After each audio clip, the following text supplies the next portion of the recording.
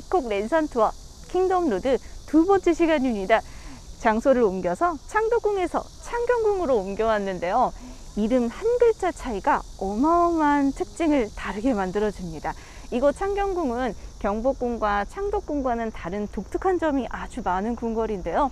여러분 뒤편에 남산 보이실까요? 바로 이 창경궁의 저 왼쪽 부분 끝에 남산이 놓여져 있는데요. 실제로 정궁인 경복궁과 두 번째로 지어진 창덕궁은 임금이 북쪽에서 위치해 남쪽을 바라보며 나라를 다스렸기 때문에 중요한 전각들의 위치가 다 남쪽을 향해 뚫려 있습니다. 그런데 이 창경궁은 두 개의 궁궐과는 좀 다른 차이점이 있는데요. 바로 만들어졌던 시기의 시대적 상황이 조금 다릅니다.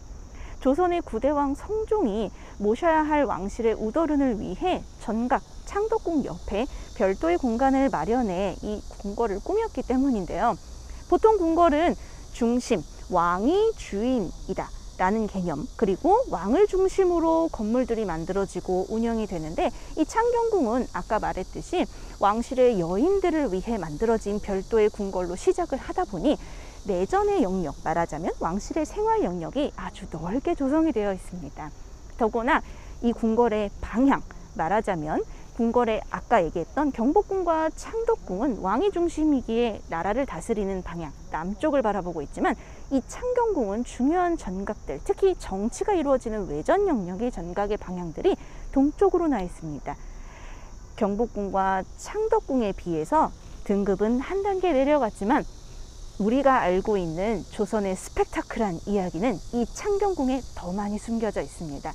킹덤 이야기도 더 많이 준비가 되어 있으니 이 창경궁에서 한번 재밌게 만나볼까요? 아 진짜 예쁘다.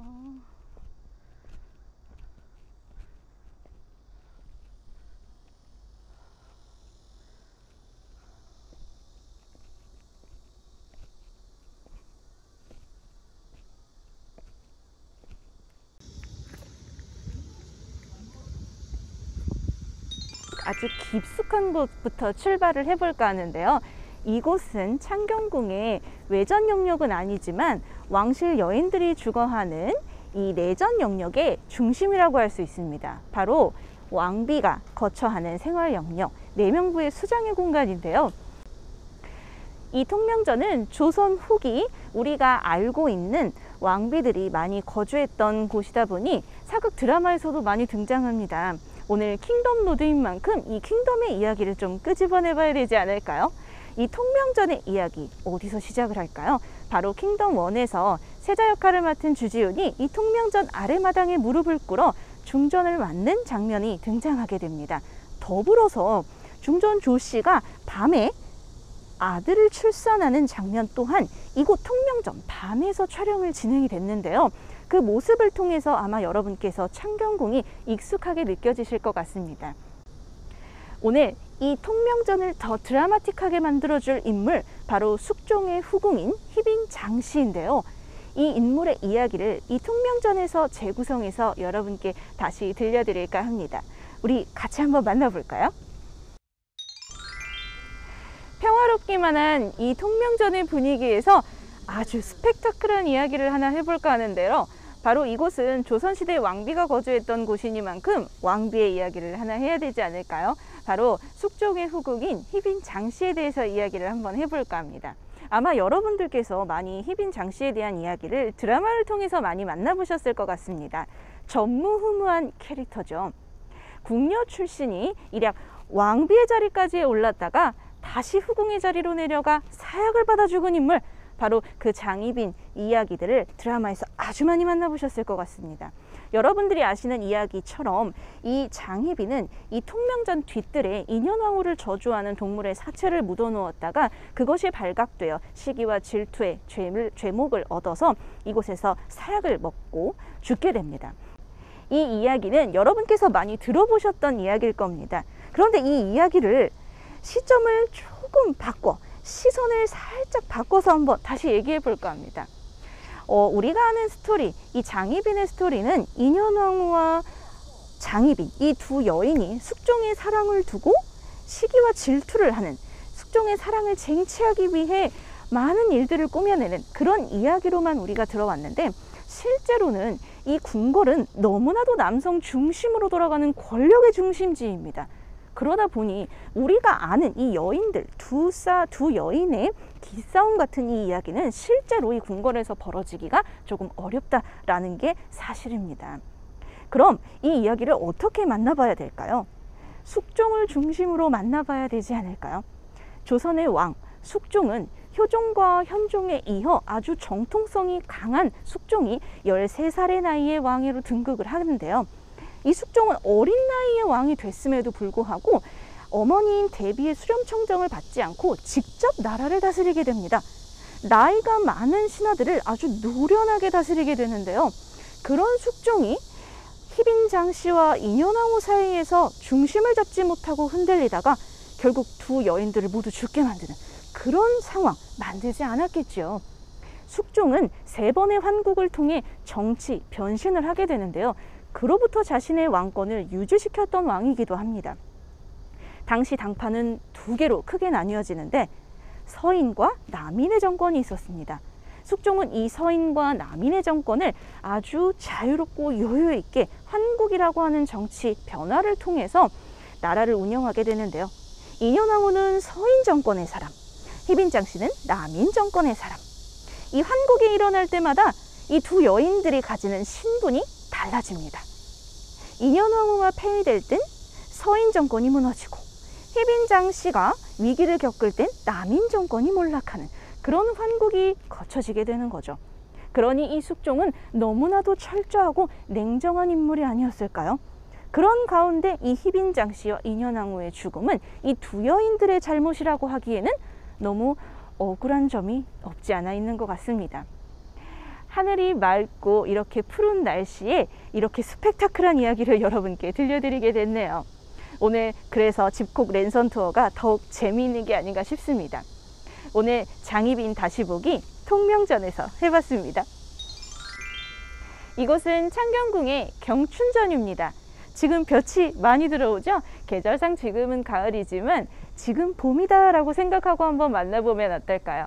볕이 많이 들어오는 봄을 나타내는 의미를 이 전각에 이름에 지었습니다.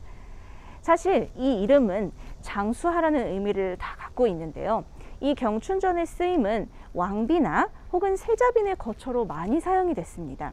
그러다 보니 우리가 많이 알고 있는 숙종의 인현왕후 혹은 정조의 어머니인 해경궁 씨가 거주했던 것으로 알려져 있습니다. 오늘은 이 경춘전에서 머물렀던 수많은 왕실 여인들 중에서 정조의 탄생과 관련 있는 해경궁 씨의 이야기를 해드리도록 하겠습니다. 이곳에서 세자였던 사도세자와 그의 부인인 해경궁 씨가 머물렀었는데요. 그곳에서 바로 정조가 탄생하게 됩니다. 조선의 22대 왕 정조는 조선 후기 나라의 중흥을 이끌기 위해 부단히 노력한 왕으로 알려져 있죠. 조선 후기의 대표적인 성군으로도 알려져 있는 왕입니다. 이 경춘전에서 사도세자와 해경궁공 씨가 거주하게 되는데요. 어느 날 이 사도세자와 해경궁공 씨가 밤에 잠을 자고 있다가 꿈을 꾸게 됩니다. 사도세자가 꾼 이 꿈 바로 정조의 태몽이었는데요. 사도세자가 잠을 자고 있다가 이 경춘전 안으로 들어온 커다란 흑룡이 경춘전 안까지 깊숙이 들어와 자신의 몸을 휘어감았습니다. 너무 깜짝 놀라 잠에서 깨니 이 사도세자가 그 즉시 아, 이 꿈은 비범한 인물이 태어나겠구나 라고 직감을 했습니다. 바로 해경궁 홍씨 배 안에 정조가 잉태되어 있었던 겁니다. 사도세자가 그 꾼 그 꿈을 바로 일어나서 붓과 종이를 이용해 그림으로 표현했는데요. 나중에 정조가 왕이 된 다음 그 아버지가 그렸던 흑룡의 그림을 이 경춘전 안에 보관해서 아버지에 대한 그리움을 많이 표현하기도 했습니다.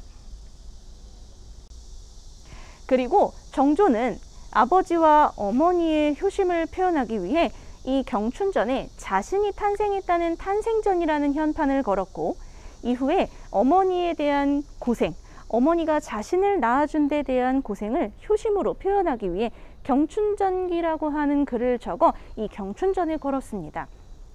나중에 서울대학교 교장관의 소장이 되어 보관을 하고 있는데요. 이 경춘전과 인연이 가장 깊은 정조, 여러분께서는 어떻게 기억하고 계십니까? 이 정조는 조선 후기 나라의 중흥을 이끌었는데요. 정치, 경제, 사회, 문화 모든 방면에서 변화를 겪었던 그 조선 후기에 나라를 발전시키기 위해 많은 일들을 했습니다. 아까 우리가 만나보았던 창덕궁 후원에 규장각을 지어 왕실 도서관으로 사용하며 신분에 제약받지 않고 등용한 많은 인재들이 공부할 수 있도록 했습니다. 또한 수원에 화성을 지어서 새로운 조선의 미래를 그렸던 도시를 하나 만들기도 했죠. 우리는 오늘 이곳 경춘전에서 조선 후기의 성군으로 알려진 정조를 만나봤습니다.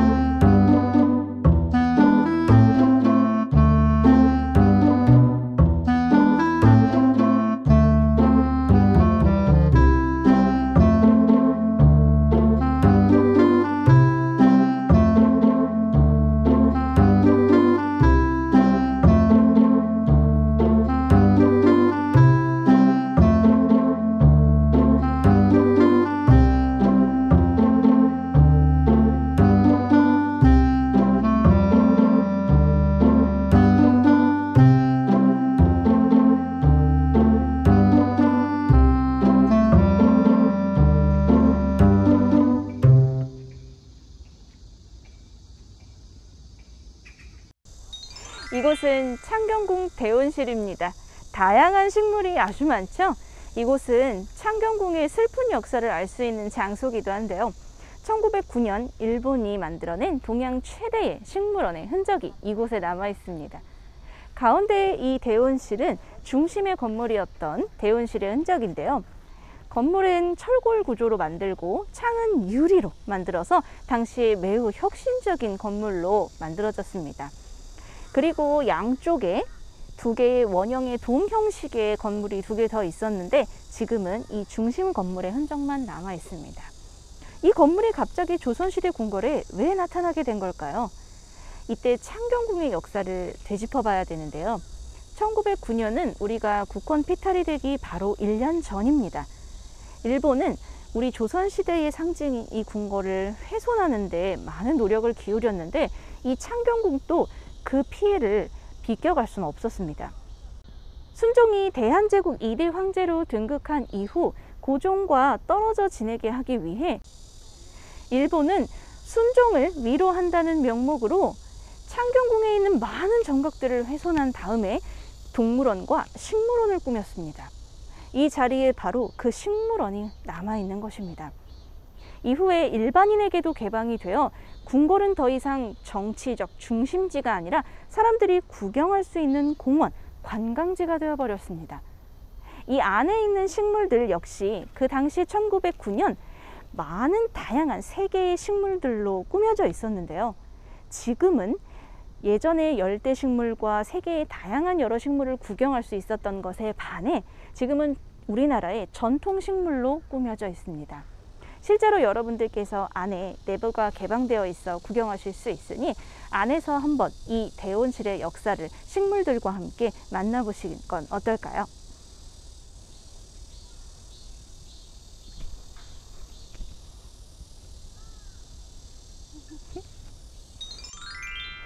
원래 이곳은 자유롭게 여러분들께서 관람하실 수 있는 식물원이지만 지금은 코로나로 인해 잠시 내부 관람이 중지가 되어 있습니다.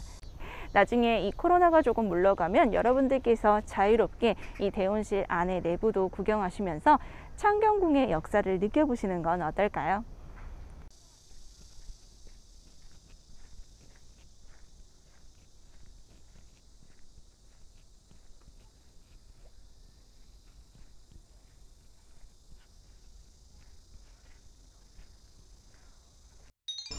이곳은 창경궁에서 가장 인기가 많은 곳인데요. 낮이나 밤이나 사람들의 시선과 발걸음을 옮기게 되는 곳입니다. 바로 이곳은 춘당지라는 이름을 가진 연못입니다. 사실 이곳은 이렇게 모습이 변하게 된 이유가 있는데요. 1909년 일본이 이 창경궁을 창경원으로 격화시키면서 궁궐을 사람들이 구경할 수 있는 공원으로 만들었습니다. 당시 일제강점기가 시작되는 바로 1년 전 순종이 대한제국 2대 황제로 등극해 이 창덕궁으로 오게 되면서 바로 옆에 있는 창경궁을 많은 정각들을 허물어서 이곳을 동물원과 식물원으로 꾸며 놓았는데요. 마찬가지로 이 춘당지도 그 동물원과 식물원을 만드는 과정 중에서 모습이 많이 변했습니다. 지금 보시는 이 창경궁의 춘당지는 모습이 마치 호리병과 같은 커다란 연못의 형태로 만들어져 있는데요. 원래 실제 조선시대의 이 춘당지의 영역은 매우 작았습니다. 오른쪽에는 이 궁궐에서 관리하는 내농포라고 하는 임금님의 전용 논밭이 있었고요. 왼쪽에는 창덕궁에서 흘러나오는 그 연못의 물줄기가 따라 이 춘당지까지 물이 흘러나오게 되어 있습니다. 여러분께서 가보셨던 창덕궁의 후원도 이 춘당지 바로 왼쪽에 위치하고 있죠. 나중에 오른쪽에 있었던 내농포의 논들을 전부 허물어 이 춘당지의 영역으로 끌어오게 됐죠. 그래서 지금과 같은 모습을 하게 된 것입니다. 더불어서 이 창경궁이 창경원으로 격화가 되면서 많은 모습이 변하게 되는데요. 1983년 창경원이 다시 창경궁의 원래 이름으로 되찾기 전까지만 해도 우리나라 사람들은 이 창경궁에서 굉장히 다양한 놀이를 즐겼습니다. 밤에는 불이 켜져 있는 야간 조명 아래 보트를 타기도 했고요. 낮에는 이곳에서 놀이공원처럼 동물원에 놀러 온 것처럼 휴양을 즐기기도 했답니다. 나중엔 1986년도부터 다시 창경궁의 모습으로 돌아오게 되면서 이곳은 조선시대 역사의 현장으로 다시 복원이 되게 되었습니다. 여러분이 만나시는 이 춘당지 뒤편에 대온실이라고 하는 식물원의 흔적도 남아 있으니 뒤에까지 천천히 여유 있게 걸으시면서 창경궁의 역사를 만나보시면 좋겠습니다.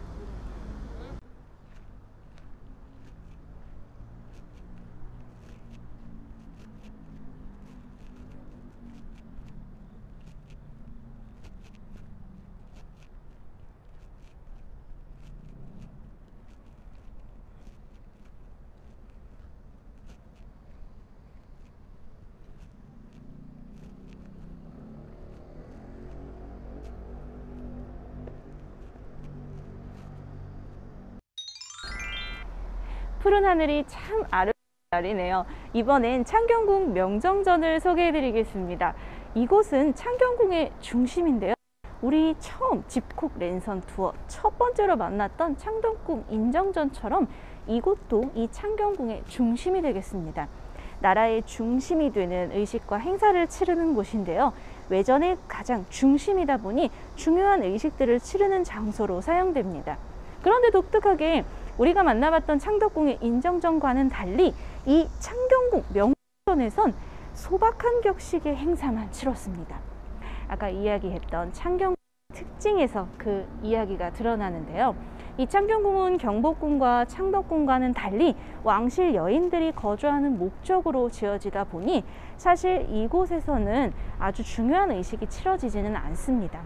왕의 즉위식 혹은 문무백관이 모두 모여 아침에 임금에게 할애 인사를 드리는 것 혹은 외교 사신을 접대하는 행사들은 주로 경복궁이나 창덕궁에서 치러졌습니다. 그래서 이곳에서는 왕실 여인들이 중심이 되는 행사를 치르게 됩니다.